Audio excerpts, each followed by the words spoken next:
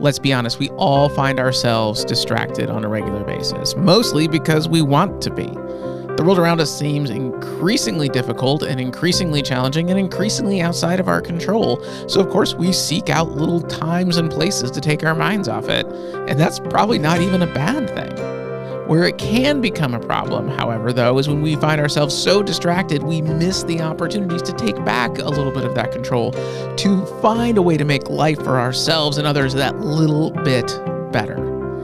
Starting on Sunday, September 8th, we're going to explore the things that tend to uh, crop up in our lives as daily distractions and what we may want to do about them. Why don't you join us?